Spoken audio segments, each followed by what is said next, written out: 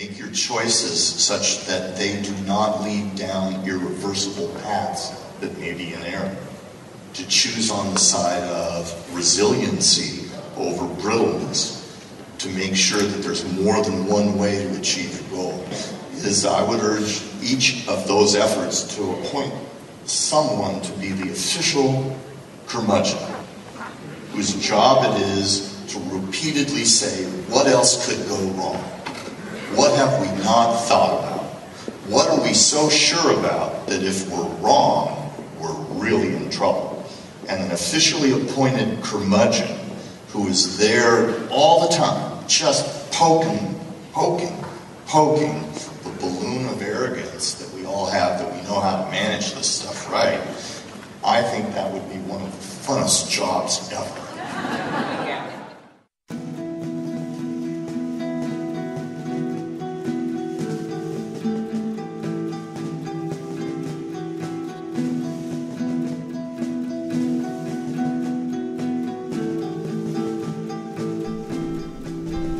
The concept of modification is one which spans human history modification of the environment and natural surroundings.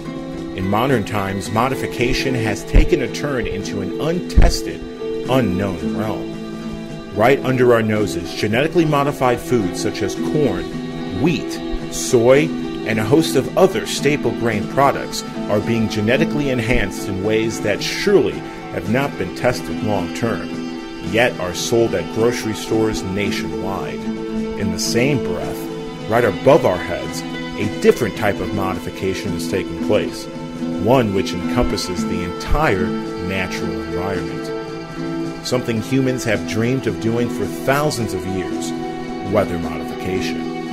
In the course of our investigation, we have uncovered nothing less than a real life, real world, real time experiment being conducted on the populations of the world. GMO foods and weather modification programs that just a few years ago would be considered science fiction. As it turns out, it's not some wild sci fi conspiracy. Instead, daily, the people of the world have been unwillingly subjected to a fully modified society.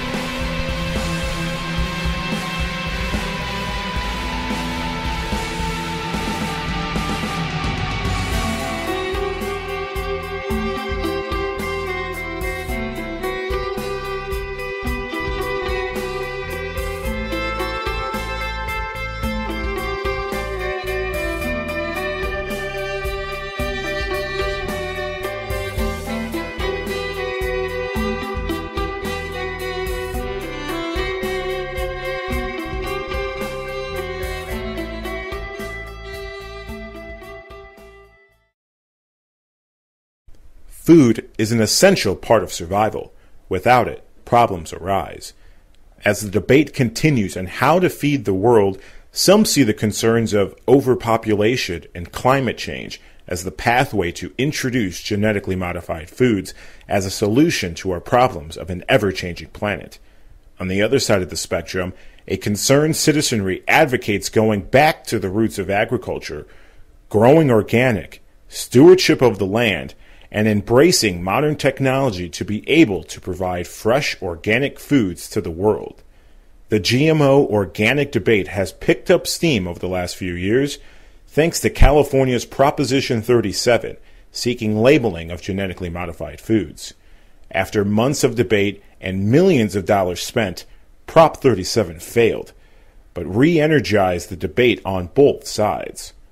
To get a better understanding of why this issue is so important, I went back to my alma mater, Western Illinois University, and spoke to Dr. Joel Gruver to better understand this debate.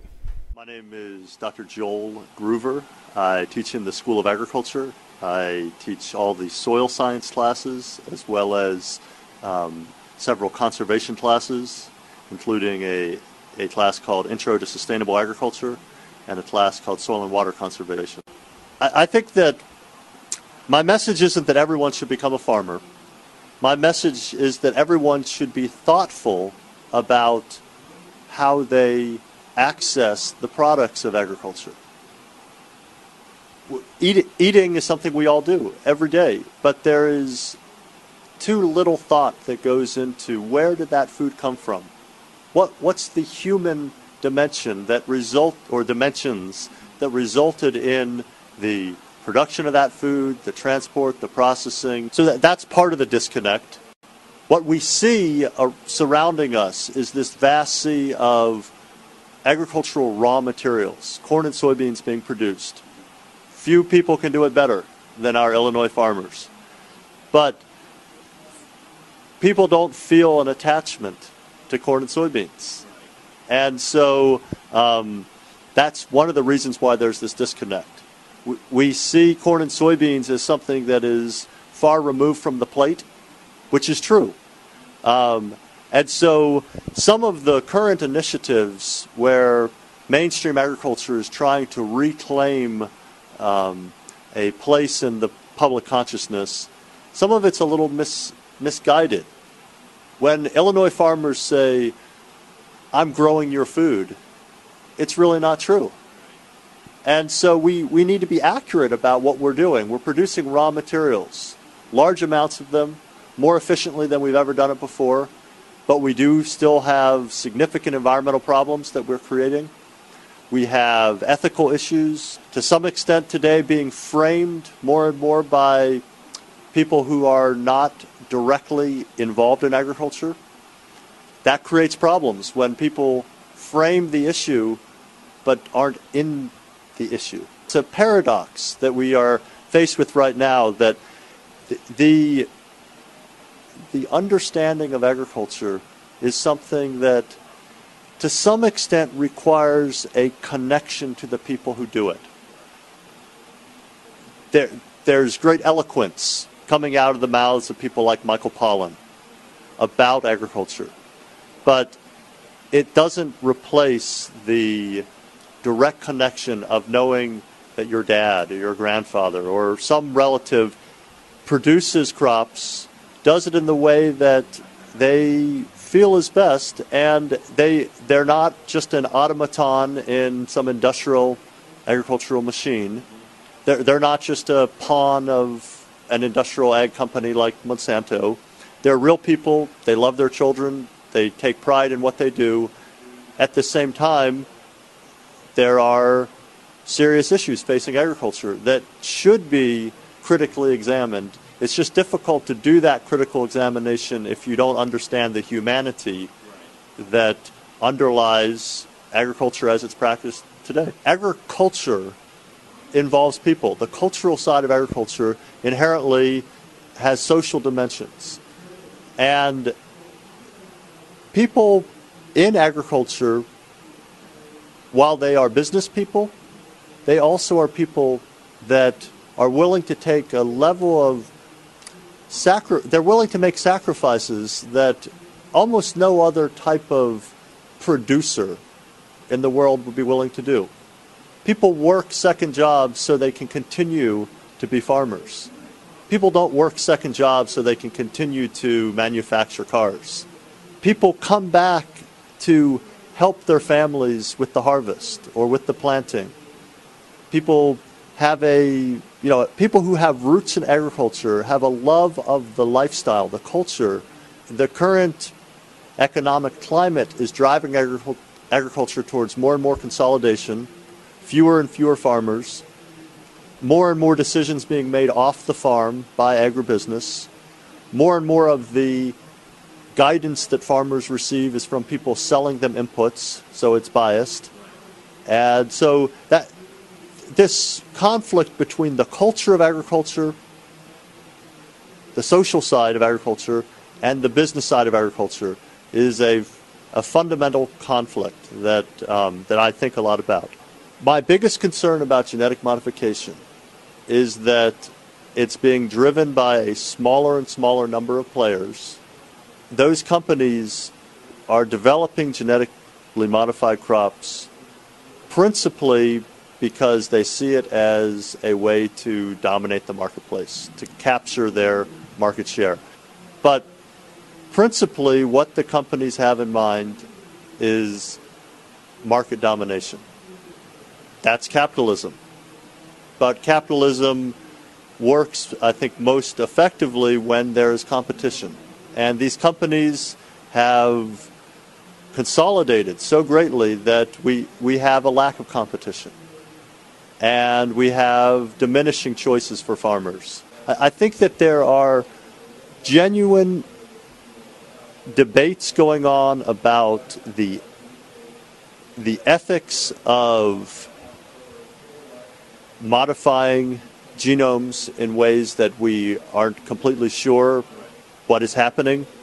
There are genuine debates about whether um, species should be, whether species boundaries should be crossed. The food chain has such a high level of GMO products in it, and um, we, we simply don't have um, most parts of the food chain are not focused on identity preservation. The whole concept of a commodity is that it's undifferentiated. And so commodity crops generally are, are, not, um, are not identity preserved.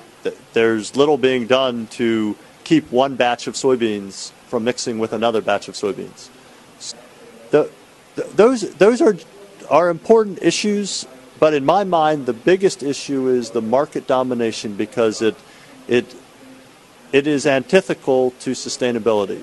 Sustainability requires choice, it requires competition, and we, we are losing choices, we're losing competition, and um, I, you know, I don't know whether antitrust legislation is the answer.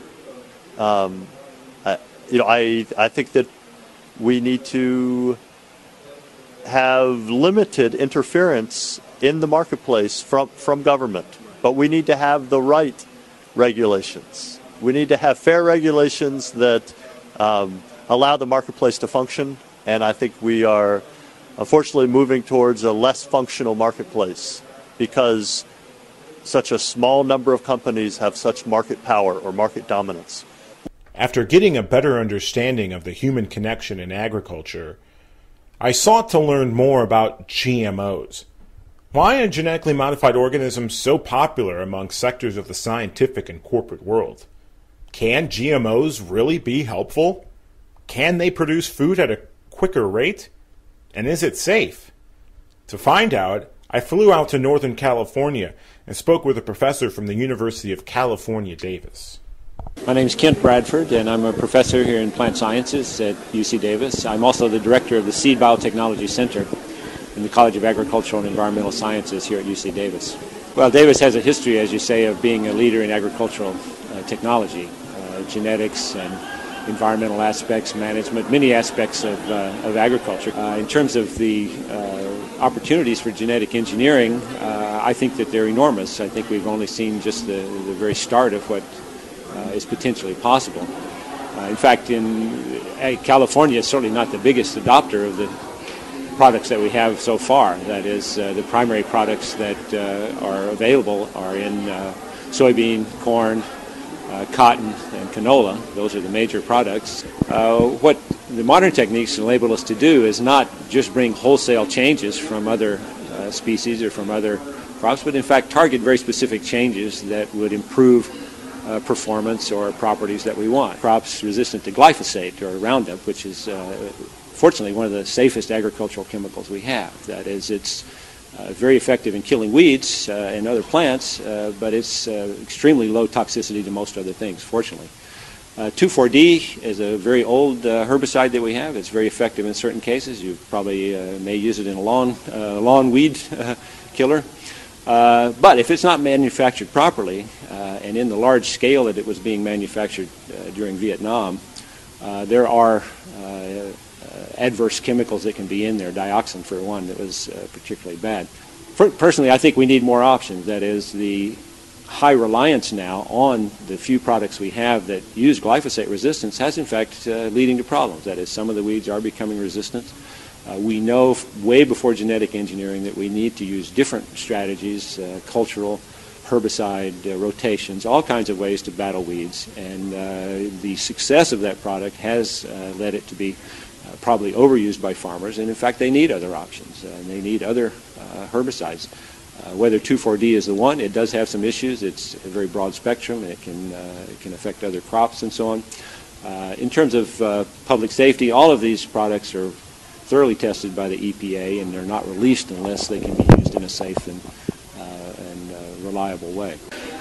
What we see down the pipeline are even much more important products, I think, which are those that would, for example, enhance tolerance to water stress or to the variability in water availability, to uh, increase the total productivity, that is uh, enhancing the photosynthetic capacity, the ability of plants uh, to actually uh, produce uh, carbon or, or, fixed carbon. Uh, many of these achievements or, or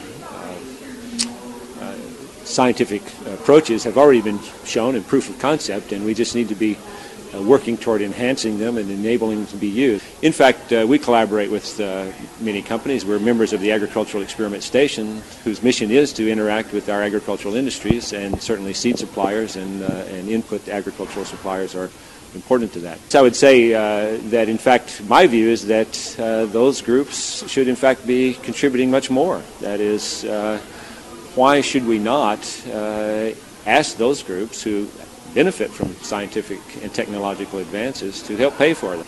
And uh, working with those companies who are the ones who are integrating new technologies into the seed is exactly where we should be. That is, the uh, seeds are the uh, microchips of agriculture, in a sense. That is, that's the intel inside of agriculture because we can embody uh, many improvements genetically, deliver it through a seed, which means we do not have to deliver it in other ways, that is, after the fact through pesticides or, or fertilizers or other ways.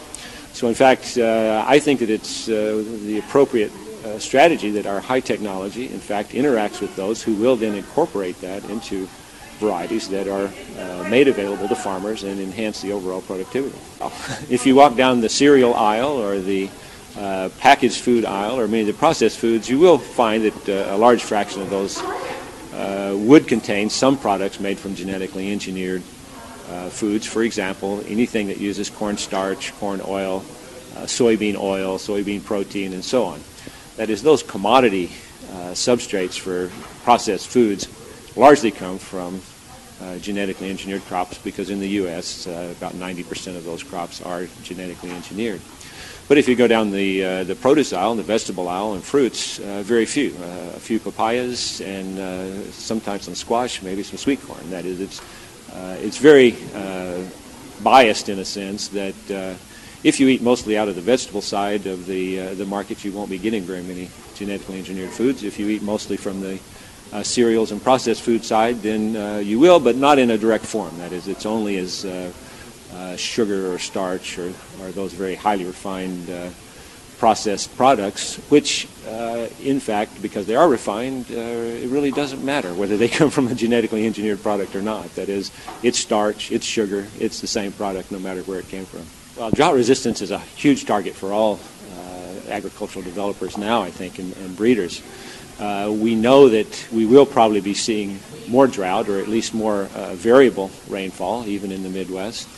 Uh, there are some products already being introduced and tested. Uh, my understanding is that in the recent droughts that we had in those tests, that they uh, they did show advantages, uh, somewhere around seven percent or so yield increases uh, due to some of those products. I have a colleague at UC Davis, Eduardo Blumwald, who has developed crops that can show fairly remarkable resilience to drought. That is, they can uh, suffer pretty extreme drought, and then when rainfalls come again, uh, recover and go ahead and make uh, decent yields. Certainly, anytime you have water stress, you're going to lose yield, but the key point is do you lose everything or, or get 30 or 40 percent of the projected yield, or can you recover 60 or 70 or 80 percent? This makes a huge difference, uh, and it would make a huge difference around the world. So, uh, contrary to what many people would say about how complex that is as a trade, it certainly is. Uh, my colleague uh, Dr. Blumwald has shown that, uh, in fact, just a single gene that he's introduced into a number of crops now are holding up in the field and showing that, in fact, uh, we can remarkably increase the resilience of crops to drought. I'm not really opposed to labeling per se. That is, uh, organic labeling, it goes through a certification process. They've met certain criteria, and it's, it's really a brand. I think we need to clarify labeling versus branding. that is, uh, companies have the opportunity to brand them, their, their, products in many ways. We can already brand crops uh, or products as uh, GM free, for example, and, and, there are those products in the market. Uh, what I do not uh, agree with is to include that as a mandatory label uh, on a product for no reason except that a certain group feels that they would like to know that. Now, certainly consumers have a right to know what's in their food uh, when it's relevant. Now, if in fact uh, food uh, producers or supermarket chains or whoever decide that they would like to uh, label those products, they can certainly do that. I'm still opposed to making it mandatory because I don't see that there's that significant a difference, again, between whether they're genetically engineered or they're modified in other ways. How many things about how food is produced could we eventually add to that label? Many people might want to know, well, how, how really was it fertilized? Uh, was that harvested by a machine or was it harvested by a, person? Uh, what was the was it union uh, labor or was it not union labor? In other words, there's all kinds of things that certain groups might feel that they would want to know about uh, their food. So unfortunately, yes, I believe Europe uh, made a, uh, a, wrong turn uh, early on, and unfortunately, uh, the consequences of that are going global. That is, Europe has a lot of influence on areas such as Africa and other parts of the world that, in fact, could enormously benefit from things that genetic engineering could bring if allowed, such as drought tolerance and improvements in disease resistance and other things that should really be non-controversial. And so uh, Europeans can afford to do what they want, but exporting their uh, anti-GM technology around the world, I think, is uh, is inappropriate. The current risk, the current risk, the current status quo is causing much more damage. In other words, I'll use another analogy. Uh, what would be the, the morality of saying, well, we have a vaccine for the disease that you have, but we won't let you have it because there's some fraction of a possibility that some people may have a bad reaction to it. This is a fact. Every vaccine we have, some people are sensitive to it. But in one in a million, we're willing to take that risk. With genetic engineering, many groups are not willing to take any risk. In other words, the, the pure precautionary principle that many cite wants zero risk whatsoever, no matter what the consequences of not employing that technology are. So how can we, you know, how could we stop, not use the polio virus to stop a known problem uh, on the possibility that sometime in the future there might be possibly some negative. I mentioned also that these are in crop plans. Uh, this kind of idea that, well, once we do it, it's a total commitment, uh, we'll never go back, that's not true. We change varieties all the time. If it turns out that uh, some consequence of particular product we don't like, we just quit using it, just like we do anything else. That is, this is not a once and for all thing. If we were to enable the scientists to really use this technology with proper uh, safety concerns, of course, everything needs to be tested. Uh, but if we were enabled to use that, then we would have at least a chance of keeping up with the climate change, the population increases, and so on that are coming down the pike. We need to double food production in the next 30, 40, 50 years in the face of diminishing resources and climate change and to tie our scientific hand behind our back in this field of food while allowing it to go forward in every other area of technology uh, is not a future that I envision. Uh, overall, uh, I think the benefits uh, greatly outweigh the, uh, the, potential disadvantages because uh, so far none of those have actually materialized. As GMOs continue to cultivate onto the nation's farmland and into our grocery stores, concerned Americans worry that consumption of genetically modified organisms could pose lingering effects not only on humans, but to the soil as well. What do you have against uh, GMOs? What concerns you the most about genetically modified organisms?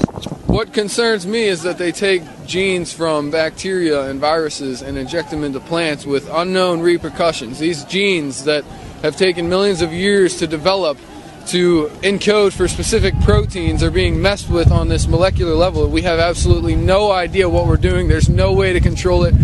We don't know what the repercussions are going to be, and uh, I'm I'm really disappointed that that our generation is to blame for releasing something like this. What concerns you the most about genetically modified organisms? What concerns me the most about it is the government and Monsanto lie about the effects of GMOs. What they do to people in the mid 90s when GMOs became very prevalent, the rises of diseases, autism, diabetes, cancer, heart disease, obesity, all are a direct correlation to the rise of genetically modified organisms. What did you study in college, and, and what is it about drought? They, they say drought resistant seeds help produce a stronger yield. It helps produce food during a drought. It would help feed the world during climate change. What do you say to that argument? Uh, as an agronomist, um, I have re- I'm familiar with ATTRA. If you are interested in finding out the science about organic versus conventional, check out ATTRA Organic. They have some scientific studies in which they showed that organic farms in Central America and South America have been able to produce a yield in whenever there's extreme uh, climate conditions, like in hurricanes and stuff like that. You can still produce food from your organic farms, whereas your conventional farms, which have no real soil stability or environmental stability, they just collapse and they don't produce anything in these. So, um, and and the answer to drought and acidic soil is not making crops that are resistant to that. It's adjusting our own style and listening to the earth and listening to what the earth wants to grow there. So if we have acidic soil, then we need to grow blueberries or acidic loving crops. If we have drought, then we need to start growing um, plants that are more resistant to drought, like rye and uh, oats and stuff like that, and get rid of the wheat. Oh, You need to. It needs to be more intensive for just for the area. Micromanagement. I do not believe in altering seeds in any way possible. All seeds should be heirloom. They should not be altered in any way possible. It's been proven that Monsanto crops, when they are planted, over a period of years, their yield decreases and more fertilizer is increased.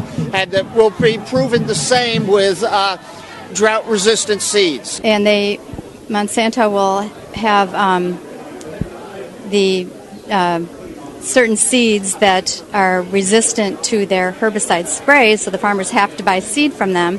Then they have to buy the, the herbicides and pesticides from them also. So it's kind of a monopoly for one thing. There's a chemical Monsanto's been talking about, 2,4-D, which was used in uh, Agent Orange, and they add it into their Roundup Ready Extends, and it it goes into the food supply. In turn, we eat it. How damaging, from your research, are these chemicals that they put onto the soil that are supposedly trying to kill weeds? So they're in the business of death, first and foremost. That's what these chemicals do. They were originally made to be used in war, like in Vietnam, and before that, World War II, and after Vietnam, when they ran out of uh, people to sell their chemicals to for killing people or for killing plants out in Vietnam, they just they turned to the agriculture uh, market, and now they're putting these chemicals on our soil. And as far as persistence goes, uh, well, they're there forever. And uh, there's even studies that show that the, the GMO genes, that as we don't know what the repercussions from those are, they're showing up in soil borne organisms, and those things work their way up through the food chain. The chemicals they use, the pesticides and herbicides, um, are just extremely poisonous, and um, we, you know, that we can't help but get residue from that. And that most of the grain, the corn, is fed to livestock, and then you know we in turn get that that residue in our in the meat products we buy. And basically, as these smaller organisms consume the plants that are sprayed with the herbicides and stuff like that, and those say they're resistant and they survive, but they have contaminants now in their body, the birds then go and eat that, and the animals that eat the birds or so forth, it climbs all the way up the food chain to the humans, and these aluminum and heavy metals and toxic substances accumulate in us, especially whenever we consist our diet mainly of animals and stuff like that, which is why we need to eat more plants. Genetically altering the food I eat to me just sounds wrong. I mean, despite even you know, I've read scientific research on it too, but just basically, it does not sound right to me. I mean, I I am just I want to eat food that is fresh, local, that has not been altered with, that does not have extra chemicals, does not doesn't have hormones, that hasn't been genetically changed. So personally, that's just my my feeling. They want to label the products that have direct GMO ingredients, but animals which are fed GMO corn and soybean, and you'll see when you buy all natural beef or chicken, it, it says uh, asterisk free range and all vegetarian fed, and all that means is that they just gave that animal access to a little 4x4 area of grass, and when it says vegetarian diet, that means they just fed them GMO corn and soybeans. So um, really it's no different than just straight consuming the GMO corn. It actually may be more damaging for your body because these animals that have ingested this unnatural food are their immune systems are compromised, and yours will, can equally become compromised by consuming those animals. When Proposition 37 came up in California, um, you can see that the number of companies, well, it's hard to see, but the number of companies who supported that fight by donating money so that that Proposition 37 would not pass. Um, you can see there's major companies, Monsanto, of course, PepsiCo, Coca Cola, um, and then some companies which I was really shocked Kashi, Cascadian Farms, R.W. Knudsen, um, Silk. I was really shocked to see those supposedly organic companies that did not support, you know, going against the GMOs. And then there's a list of companies that that did work towards, you know, getting that so you got to be careful what you buy. If, if you you know you've got to buy with the companies who are doing the things that you believe in, and boycotting the other companies. Why do you feel entities like the USDA or the FDA aren't doing anything? They say, "Oh, we want to do food safety," but in reality, they're not.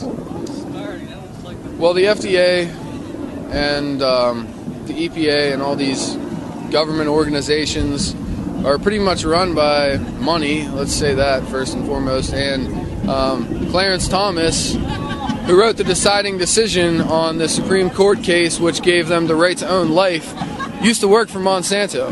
Uh, that's just one example of the ability of these companies to get on the inside and control these organizations that are supposed to represent us, the people, and it's time that we took them back. That is extremely concerning to me. That a basically a chemical company can have that much say in American politics and government. I, to me, it's just really alarming. You're standing right behind the White House.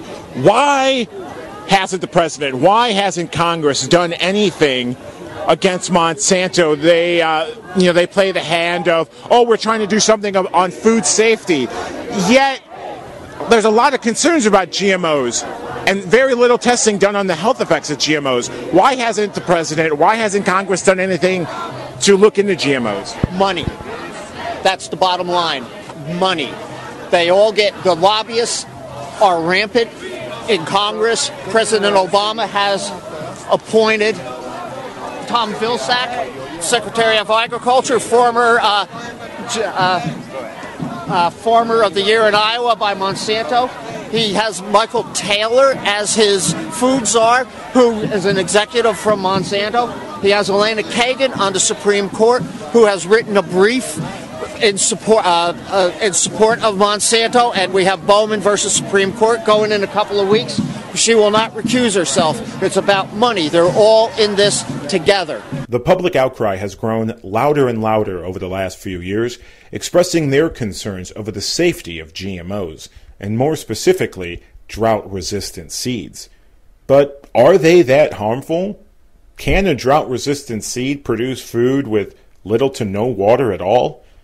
I decided to find out while attending the USDA Agriculture Outlook Forum just outside of Washington, D.C., where I was able to speak with professionals in the industry. Uh, Julio Rausseo, how has uh, drought resistant seeds changed in, in, in, the market? What type of trends do you see drought resistant seeds going in the next year or, or next few years if the drought trend continues in parts of the Midwest? And for the CME side, for weather derivatives, how could a farmer or, or, or trader looking at, say, uh, potentially another current drought trend, how could one manage weather derivatives for a farmer if they want to protect their farmland from another terrible drought season. I can take an initial crack at that. This is an area of very active debate among crop scientists and uh, others, uh, in particular for corn. Uh, are our uh, GMO varieties with the uh, stack traits in particular much more drought resistant than the varieties that preceded these stack trait um, hybrids. My own view from the research that we've done is that while they, those, that technology has certainly contributed to uh, our continued growth in trend corn yields, that their impact on, in terms of drought tolerance, is fairly small. Uh, evidence of that would be we have a crop weather model that we use, uh, and in fact, uh, our predictions with that model, based on data for the last 50 years, were too high without taking into account any changes in trend due to drought tolerance. So I don't think the evidence is very convincing that our current hybrids have all that much better drought tolerance than, than they had, say, 15 or 20 years ago. We may have seen a bit of an uptick, a small uptick in the rate of growth in corn trend yields, but, but I don't think it's been uh, large. We're not going to get to 300 bushels per acre anytime soon. Uh, on the other hand, uh, you know, science does progress, and I think that you can be more optimistic as you look further down the road with uh, some of the genetic technologies that have, are in the laboratory and starting to be field tested that maybe we can see some more progress as we look down maybe a 5, 10, 15 year horizon uh, into the future. The problem with drought tolerance is that it's incredibly difficult to pinpoint the changes in the plant to make it more drought tolerant. Because just like last summer if you get a two or three week blast of scorching heat in just the wrong period and that's not the time period that you've timed your drought tolerance uh, characteristics in the corn plant it's worthless. So it's very hard to make a general change in the plant genetics that will make it more drought tolerant I, I, would just add there is some technology out there, right? So it, it's coming out, it's, it's, it's adopting. You hear statistics around six bushel per acre, 10, 12, depending upon how you do your math. Uh, yield increase when in drought uh, stricken areas. So I, I, think that, you know, it's like many of the technologies that come, it, it, it's going to come. I think that they will figure out a way to do it, and it solves two things at one time. It solves a growing need for food, and it solves the water resource relative to that growing need for food. So, if it can get done and if it can be effective, I would say it will be good. I would also add that, you know, what you heard this morning regarding to synchronous approvals worldwide are a big deal uh, for the industry and making sure that as we roll these products out, we're able to um, use those and access markets worldwide uh, that, that want to take them. So I, I, would just say, as these new things come out, there'll be a lot of dialogue coming on about how fast they're adopted, where they're adopted, and how we do that, all towards an increase in technology. Because if you remember the, the yield chart, without that, we're going to have a hard time feeding the world. So I'm Dave Bodler. I'm with Cargill in Minneapolis, and I'm here as part of the uh, forum, the panel uh, that just talked about uh, markets and the relationship of markets to the different companies, CME, ourselves, and University of Illinois. This topic of, of drought tolerance and doing that is an important issue in a dry year like we're just coming off of. This will be a big issue relative to the crop we just got done with, and if we have adequate rainfall, a drought-resistant crop will be less important. But as we as we uh, encourage crops to go west on corn production, drought tolerance in those areas will be important for the producer to be able to reduce their risk of a crop failure. Uh, following this summer, we've seen we've heard more and more news about drought-resistant seeds or drought-tolerant seeds. Could you explain a little bit about what is a drought-resistant seed and how long this this uh, sort of product has been in development? Yeah, it's a seed that grows a plant that in a stressed year requires less moisture or performs better in a dry year that protects them against that. So this is technology that's coming out through genetic engineering. It's uh, technology that the farmer is very interested in because it reduces its his or her risk in planting. So it's coming out. It's to protect in the bad years uh, and you know the, the good products will come out without any drag on good years when they do have adequate moisture that they're still able to have their high yielding crops in those years as well. What is the difference, say, from a drought-resistant seed compared to a regular or organic type of type of seed? Are there differences? Are there any similarities? So it's a again, it's a seed to grow a plant that, that uses less water. Yes, it's uh, genet- most of them that are coming out are genetically engineered, whether it's genetically engineered um, or a hybrid has also created a lot of solutions for farmers around risk protection and increasing yields. So it's one of the many things coming out to the farmers to be able to increase production.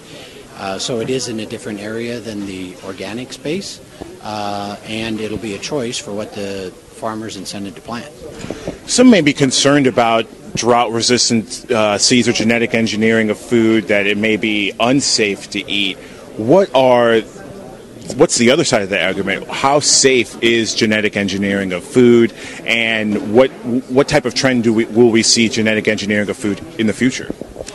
I think that the important thing is that we keep the conversation and the facts fact based. So if we use science and fact based, that's going to be the key to make sure that we have good products out there for people to use.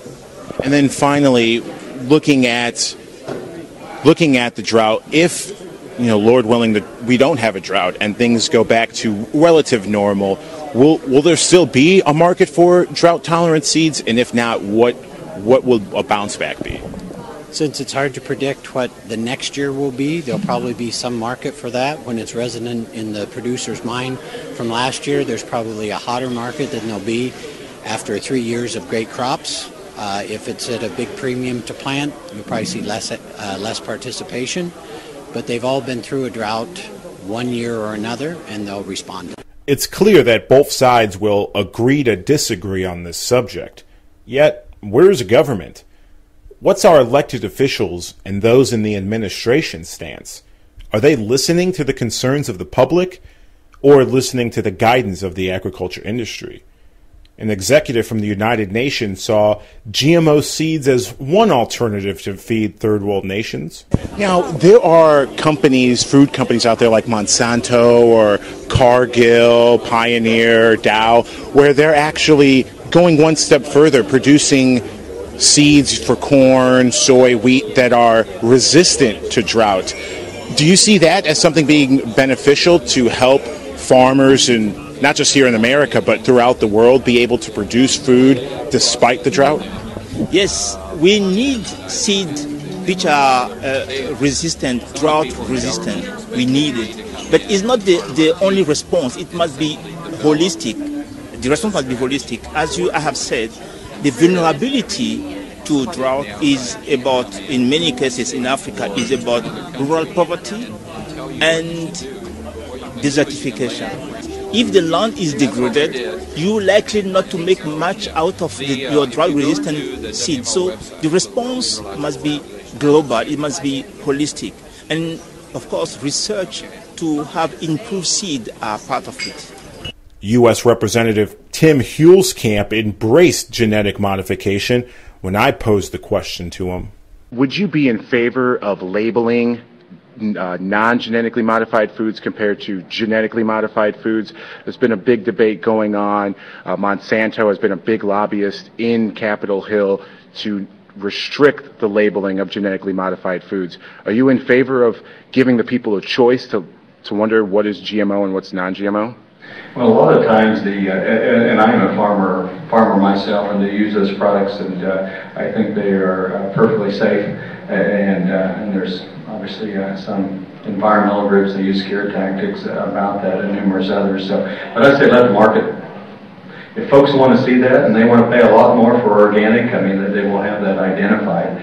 And uh, but most of what we use has has been genetically enhanced at various times. I mean, uh, the uh, the ability of, of folks uh, in uh, particularly environmentalist movement to uh, misuse and mislead folks. I'll give you a perfect example of that is this uh, issue of lean, finely textured beef. And you might have heard about that, folks. we we because of misinformation coming out of one television outlet, I think was CBS News, ran 30 consecutive stories that were full, was full of bad science, misinformation. And in my district, they eliminated 250 jobs and said, go home. And uh, they shut down a plant. There were four plants around the country. I'll tell you today, lean, finely textured beef was the safest beef you could buy in the entire country because of the innovative process by which they killed E. coli. But don't let science get in the facts, uh, folks in Washington and in many of these movements. And so everything needs to be fact-based, but uh, you know, let uh, consumers have those particular choices. And recently, Montana Senator Jon Tester was vocal on the Senate floor in his stance against Washington favoring the agriculture industry. It's time to highlight the need for greater transparency and openness so voters can hold their elected leaders accountable and for what happens here in Washington, D.C., and to just know what's going on. The second provision sent over from the House tells the USDA to ignore any judicial ruling regarding the planting of genetically modified crops. Its supporters are calling it farmer assurance provision. But all it really assures is a lack of corporate liability.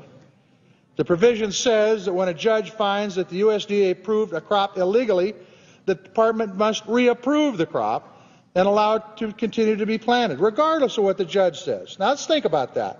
The United States Congress is telling the Agricultural Department that even if a court tells you that you've failed to follow the right process and tells you to start over, you must disregard the court's ruling and allow the crop to be planted anyway.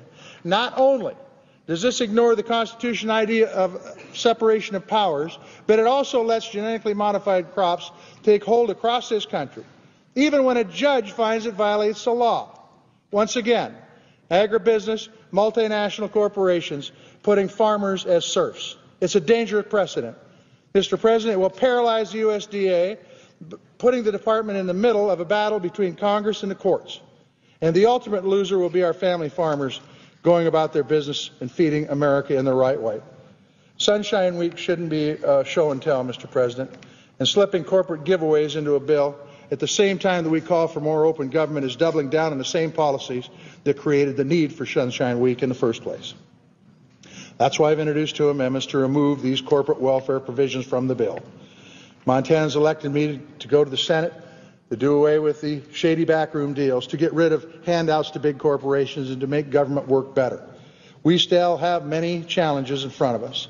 And I commend the leaders of the, of the, Appropriation Committee for their commitment to working together to bring us on a plan we can vote. But these two provisions undermine, undermine our good work to support family farm agriculture. These provisions are giveaways, pure and simple, and will be a boon worth millions of dollars to a handful of the biggest corporations in this country. They deserve no place in this bill. We simply have got to do a better job on both policy and process. But what about USDA? Should they look into the safety issues of GMOs? Or were the activists correct and the USDA will side with the agriculture corporations? I decided to ask Secretary Tom Vilsack myself in the middle of his press conference. Secretary, uh, I had a, you mentioned about the drought, your concerns about the drought, especially in the Midwest. Uh, with drought resistant seeds being uh, discussed more out in the open, how will USDA uh, go forth with drought-resistant technology. And secondly, uh, huge concerns throughout the country on the safety of GMOs for human consumption. Uh, what, what can USDA do to address those concerns? And similar to the USDA organic labeling, could we see someday down the road a USDA GMO labeling to address those concerns? Well, you asked a lot of questions there. Uh, I'll try to answer uh, several of them. Um, first of all, uh, USDA's role relative to any kind of seed technology is to ensure that it doesn't create um, a, a, a, hazard or a danger to uh, to plants and to and to crops, and that's the regulatory process we go through. Uh, folks who come up with new technology, we basically work through that process of, of ensuring the safety and security of that technology. And when we're convinced that they don't represent uh, the threats uh, under the Plant Protection Act, we deregulate. Uh, that's a process that takes uh, a considerable period of time and a lot of data and a lot of research. I don't know of any uh, reputable study at this point that suggests that there's a safety concern relative to health uh, with GE crops, um, and that's the reason why they are utilized by American farmers, and that's one of the reasons why we were able to get through a drought in better shape than we had anticipated, um, and it's one of the reasons why we've seen extraordinary productivity gains as Senator Daschle uh, alluded to. that regulatory process, I think, uh, it needs, needs to uh, constantly look at ways in which we can improve the process, but the, the bottom line is making sure that what is deregulated is, is not presenting a threat uh, to plants and crops. Um, as far as labeling is concerned, um, let me just simply say that uh, historically, uh, labeling in this country has been about two issues, nutrition, providing nutritional information, uh, and uh, about uh, safety issues. Uh, I'm sure that either one of those fits your question. I don't think it's not about nutrition, and I don't, again, I don't know that there's a reputable study relative to safety. So at this point, I, I don't know that we're necessarily headed down at USDA a path. Um, Mr. Secretary.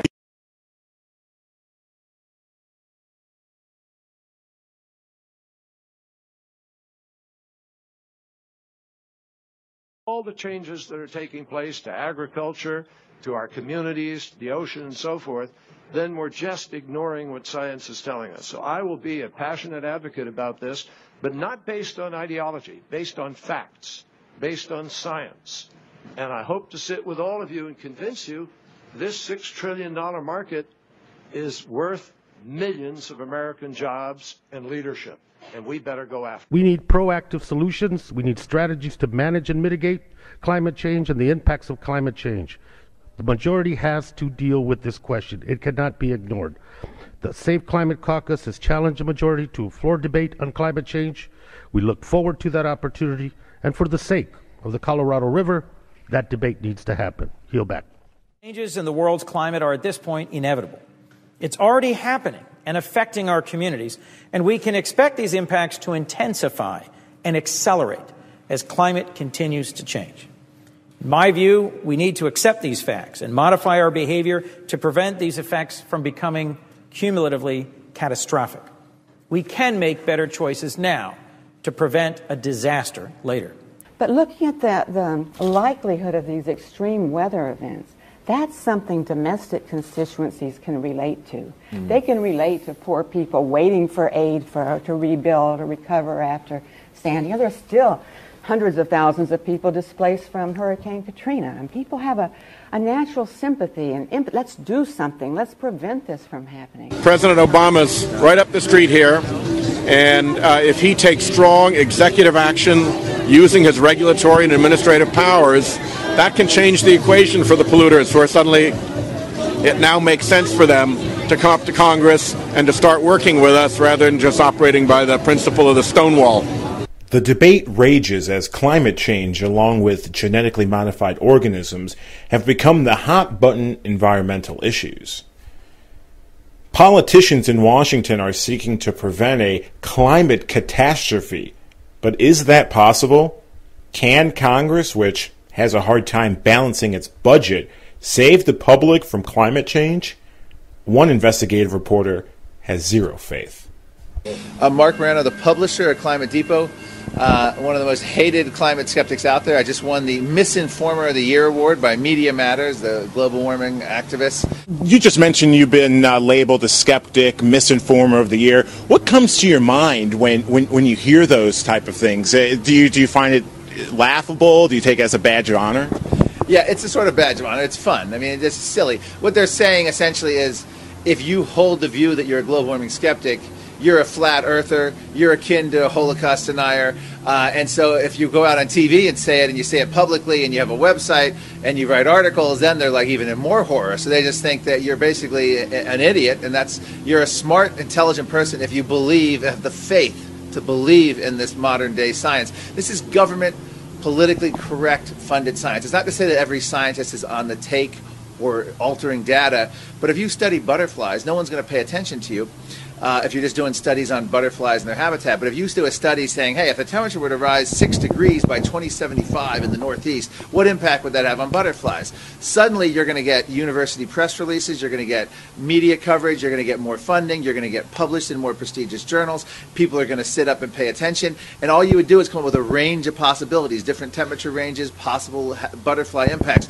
Suddenly, this scientist who didn't, who never studied whether CO2 impacts climate or how it impacts climate, is now feeded by by the global warming establishment as yet another scientist in the consensus, when all he was really doing was benefiting from all this money. The government throws all this money into this research. Foundations, research, all the journals, all the governments around the world, the United Nations are directing it. Suddenly, all this money, and all these scientists, well, if you're going to, let's, do climate. Hey, let's, let's study climate now. Let's get into this. This is the hot thing at the moment. Any bad things will happen with global warming. Well, guess what? Bad things happen all the time with, with weather. So now, every time a bad thing happens, as you would expect it to do, it's further proof of their theory. There's no way to falsify the theory anymore. One scientist said it's now akin to the predictions of Nostradamus, where there's these cryptic messages. We now have the Mayan calendar. This is what it's basically like. It's the end of time with the Mayan calendar. James Hansen, NASA's lead global warming scientist, is practicing his own form of a Mayan calendar. In January 2009, he said Obama had four years left to save the Earth. Guess what? It expires, I believe, tomorrow, that four years that he gave Obama. So we have our NASA scientist issuing his own Mayan like end of the world calendar. This, the, the global warming movement picked up a lot of steam, and it seemed like there was going to be uh, consensus on some sort of treaty at the United Nations conference in Copenhagen, Denmark. And then the events of Climate Gate, as it's now known, really derailed everything. You're in Copenhagen. What, first, what was the reaction of the the entire UN conference? And number two, what did Climate Gate do back in 2009 to derail this whole movement. Yeah, I think it helped derail because what I like to say is before ClimateGate, particularly in the U.S., people didn't buy this. I mean, it was a study by Gallup. More people believed in haunted houses than man-made global warming, 37 to 36 percent. If you look at what happened in Copenhagen, there was a lot of high hope. People thought we were finally going to follow up and have this new treaty and a, a mission eliminating. We were going to control the thermostat. This was modern world leaders getting together, talking about limiting the Earth's temperature, a verbal, non-binding agreement that's what they ended up with to limit the Earth's temperature to no more than two degrees Celsius rise. Imagine. Uh, and then we laugh at witch doctors and we laugh at the ancient people who thought they could control the weather or slaughter people to control the weather. Here we think that acts of Congress, the United Nations, can control the Earth's thermostat. So in Copenhagen, Obama showed up strolled into a room, tried to make something happen. Then he had to hightail it out of Copenhagen because there was a huge blizzard hitting Washington, D.C., which of course is consistent with what they predicted, even though they never predicted blizzards and extreme cold. But hey, any weather event's consistent because uh, it's what it's because they said there'd be big storms and records broken. Well, records are broken all the time. Obama was actually given a large share of the blame at that conference, there were protesters outside the conference screaming, Obama, shame on you. They had pictures of Obama with the phrase climate shame on them.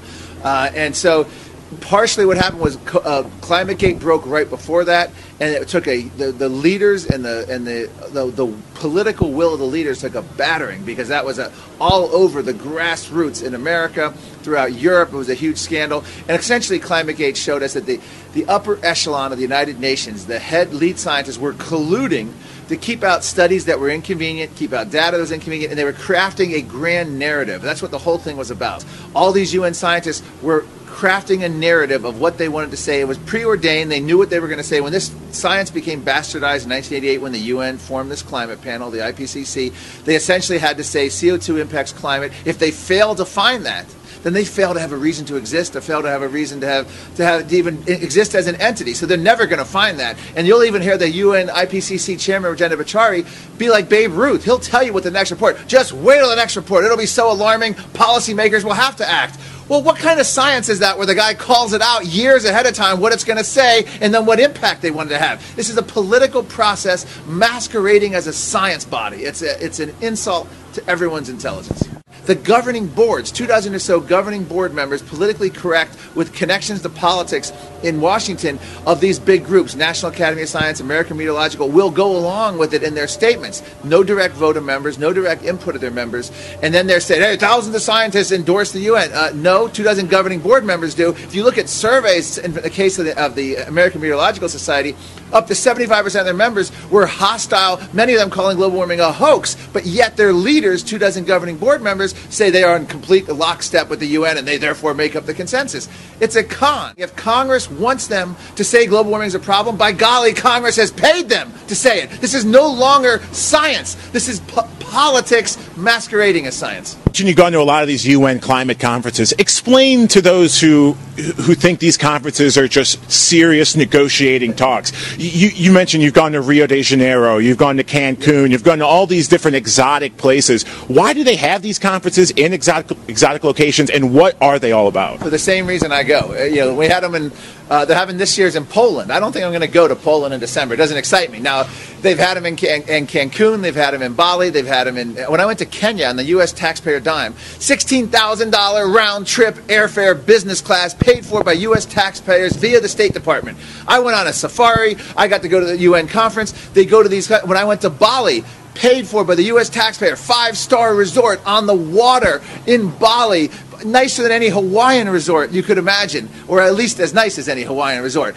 This is why many Senate staffers went. This is why politicians like to go. This is why UN delegates, bureaucrats, why all the media likes to go. They know how to throw a party. When I was in Johannesburg, South Africa, they were having a summit on sustainable development and how to help poor people and the energy of the world to develop so we help poor people and not harm the earth. Well, they flew in chefs from Europe. They were doing caviar and shrimp and uh, and uh, all kinds of exotic meats and wines and champagnes. And they interviewed the chefs and how they all the the world leaders were demanding all this exotic food. Well, they sat there and talked about the plight of the poor.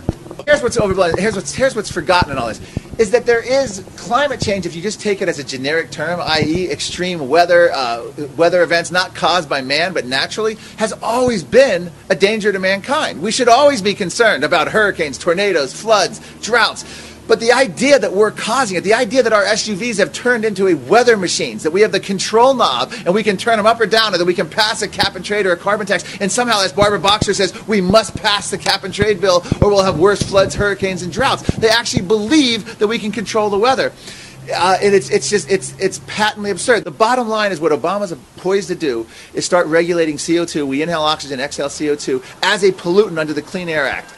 There's going to be lawsuits. There's going to be all kinds of delays. Congress is going to try to stop it. I don't know to what effect.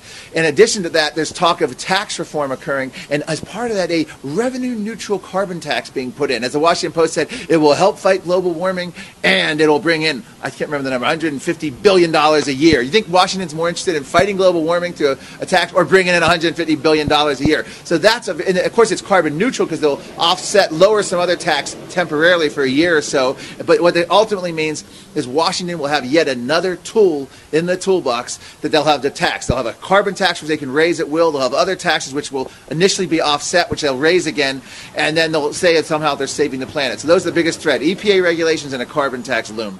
Some scientists have some really interesting ways to combat climate change cloud seeding, climate engineering, carbon taxes. They even go as far as uh, advocating plastic trees to absorb CO2. What are your thoughts when you hear scientists talk about manipulating the weather and doing all these weird things to help save the earth? Well, Obama's energy secretary wanted to paint roofs white so that we could cool the earth. You know, I don't even cover geoengineering, what you're discussing, on my website because I think it's so patently absurd and a waste of time. Carbon capture and sequestration, we need to do all this nonsense of everything they're trying to do is an utter futile waste of time. Not about black carbon and soot having, you know, many times the, the, the impact on climate that they ever knew. The idea that science is settled. Well, you have new peer-reviewed studies throwing that out just this week. And so what happens is hundreds of factors influence climate, and the idea that CO2 is the tail that wags the dog isn't tenable in the scientific literature. How do we know that? We look at all the other factors, everything from volcanic dust to ocean cycles to the sun, the solar system, cloud feedbacks, and then you look at the past. The medieval warm period, both northern and southern hemisphere globally, was as warm or warmer than current temperatures without benefit of SUVs. So the idea that we're driving a catastrophe isn't held up in the literature. And if you look at the CO2 has been many times higher in the past, we've been cooler, and it's been many times lower, and we've been warmer. The idea that CO2 is a control knob doesn't bear out. In the discussion on how to combat climate change, one of the options discussed is a controversial proposal ripped from the pages of science fiction. The concept of deliberately interfering with the climate isn't a brand new idea. In fact, the idea of weather modification was spearheaded in the U.S. by the United States military. But is weather modification a smart idea? Should we be deliberately interfering with the Earth's climate? One woman says no. My name is Rosalind Peterson, and I'm from Mendocino County, California. And my whole life has been involved in some form or another of agriculture crop production, from working for the Mendocino County Agricultural Department for five years as an agricultural technologist. Then I worked for the California uh, Department of Agriculture, the state of California uh, Farm Service Agency, several in the state of California, as well as I am a certified crop loss adjuster for the state of California. I haven't worked in that capacity for many years, but uh, it is one of the reasons that I became interested in a topic called geoengineering. Geoengineering is the large scale manipulation of the Earth's environment, the atmosphere, the oceans, uh, the Earth itself, in order to supposedly um, change or mask global warming. There are any number of schemes from ocean iron fertilization, which hasn't worked well, all the way to plans for solar radiation management, which means putting particles or chemicals in the atmosphere to reduce the amount of direct sunlight reaching the Earth.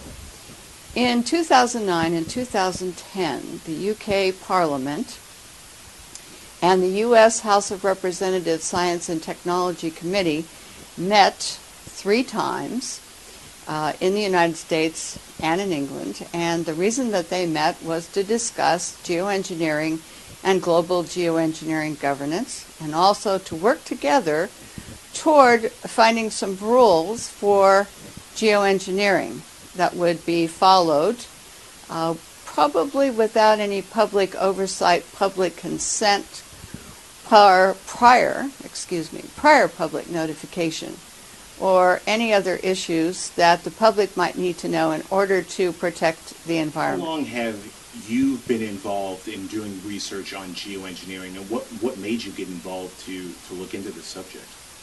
I started realizing that there were atmospheric testing and other things going on in the atmosphere that were going to cause problems for agriculture, crop production, photosynthesis, and some other issues with regard to agriculture. And so in 2002, I started doing research. Geoengineering started to come onto the horizon and be spoken about in uh, the mid 2000s, uh, about 2004, 2005, and then more and more you'd see more articles, and finally there were these hearings uh, by the U.S. House of Representatives.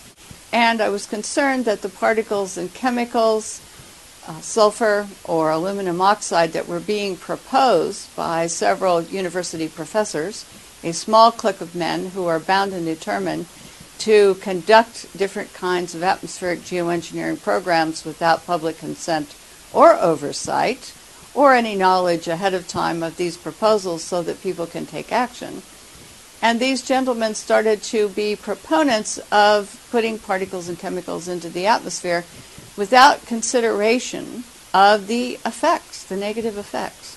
Well, one of the things about solar radiation management is that when you put we know that when you put particles and chemicals into the atmosphere, they're going to have effect on ozone. They're going to have an effect on cloud formation. They're going to have an effect on the amount of direct sunlight reaching the Earth. And when you're talking about curing global warming, supposedly, by reducing the amount of direct sunlight reaching the Earth, we know that isn't true. The second thing is when you reduce the amount of direct sunlight reaching the earth, you're going to lower crop production. You're going to have incidences of lack of vitamin D because if direct sunlight doesn't come down to the earth and touch the earth, we won't absorb enough vitamin D through our skin in order to ha- lead healthy lives and for our children to lead healthy lives. So we've got the CDC, the University of California, Berkeley, we've got Kaiser Permanente, a large health system agency, all making the statements that we're suffering now from a lack of vitamin D because of increasing cloud cover. And one form of geoengineering is caused by persistent jet contrails. And according to NASA, these contrails turn into man made clouds They're composed of jet fuel emissions and water vapor, which is a highly potent greenhouse gas. And the aviation impacts are reducing the amount of direct sunlight through haze and man made cloud cover. And when you reduce the amount of direct sunlight, then and you increase the clouds, you not only change the climate itself, but what you do in this type of geoengineering project is that you reduce the sunlight reaching the earth, you have lower solar panel power production, you have a lowering of crop production because direct sunlight causes plants to grow healthy and strong due to the photosynthesis process.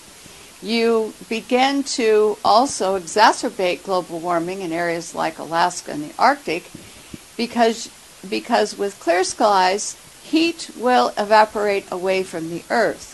But when you put in man made cloud cover, according to NASA and Stanford University studies and other research, you are beginning to trap the heat and you make certain areas warmer, and so therefore they artificially warm.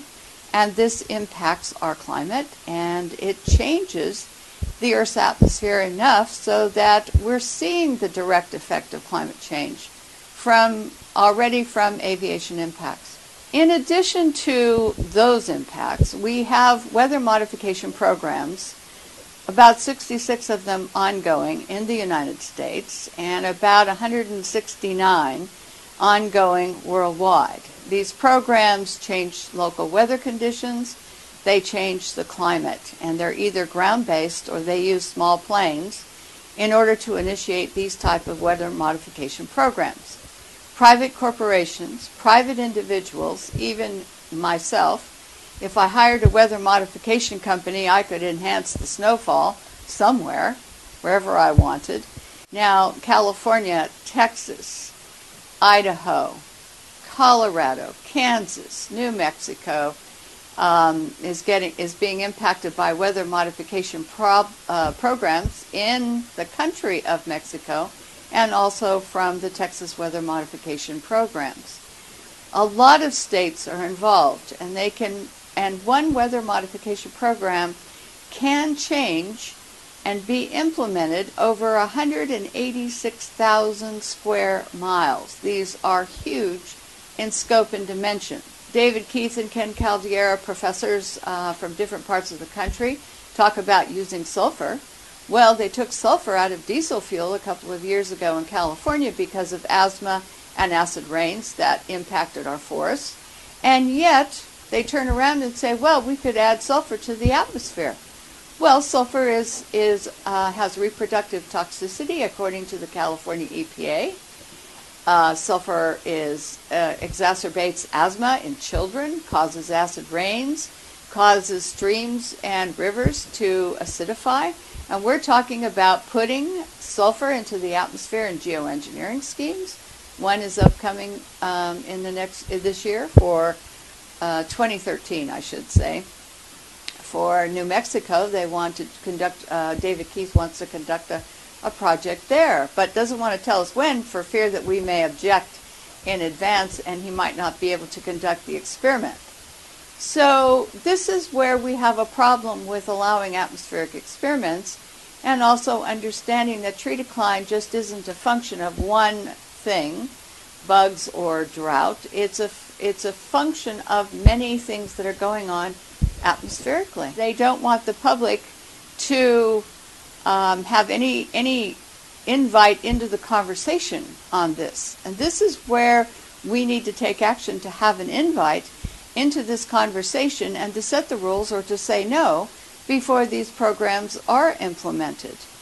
And when someone tells me that they want to play God with our environment, but they don't want any rules or any restrictions and they want to do it in secret, then I have growing concerns because I think it's just to for prestige and to make money. I don't know that necessarily it's going to benefit you and me and um, my grandchildren and other people. Is Rosalind correct? Do geoengineers want the public to be unaware of their climate changing programs? Does geoengineering and weather modification pose a significant risk to the public and environment? And are these programs given full consent from government? While covering the Climate Forward rally in Washington, D.C., I posed that question to Rhode Island Senator Sheldon Whitehouse. With the dangers of climate change, there's been some talks from scientists, and even uh, it's been looked at by Congress of ways of, of trying to potentially stop climate change through climate engineering or cloud seeding. Could that be a way that Congress could try to put more funds in research and development to see that as a way to stop climate change? Yeah, the the, the whole question of geoengineering is, uh, first of all, it's a little bit dangerous. It's not nice to mess with Mother Nature. Remember that old phrase? Um, and the second thing is that geoengineering misses half of the problem. It misses the ocean half of the problem enormous amount of the carbon that we emit gets absorbed by the oceans. The oceans just chemically become more acidic as a result. And you can try to offset the temperature effects of our carbon pollution. But if the ocean continues to get acider and acider, it's going to be more and more challenging for our planet and for our species. What about the president? Would his administration endorse a geoengineering program? Various university scientists are are consider- considering uh, techniques such as climate engineering, cloud seeding as a way to help prevent extreme weather. Is that something the president may look into with research and development?